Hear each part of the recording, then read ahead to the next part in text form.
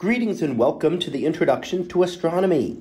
One of the things that I like to do in each of my introductory astronomy classes is to begin the class with the astronomy picture of the day from the NASA website that is apod.nasa.gov/apod. And today's picture for March 24th of 2022, well it is titled ARP 78, Peculiar Galaxy in Aries.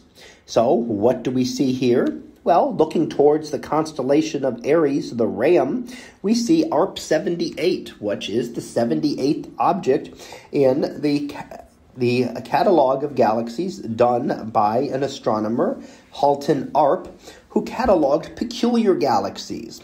And what we mean by a peculiar galaxy is that it simply does not quite look right like an ordinary spiral or elliptical galaxy.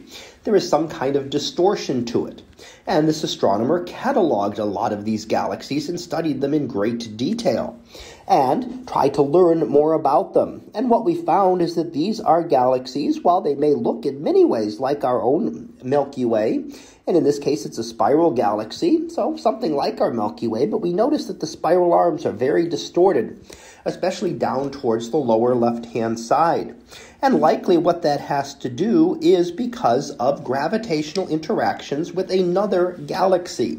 So, another galaxy not visible in this image, which would be located off the edge of the frame, is actually distorting this and has probably had a close contact with this uh, with this galaxy and distorted its spiral structure. So we can see that those spiral arms, both to the bottom and up to the top too, kind of going off the edge of the frame, have been greatly distorted and are no longer the nice smooth spiral arms that we're used to seeing.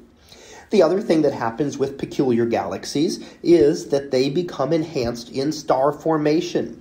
So we will see far more blue star clusters here and other star forming regions where stars are star formation has been enhanced by the gravitational interactions of these two galaxies.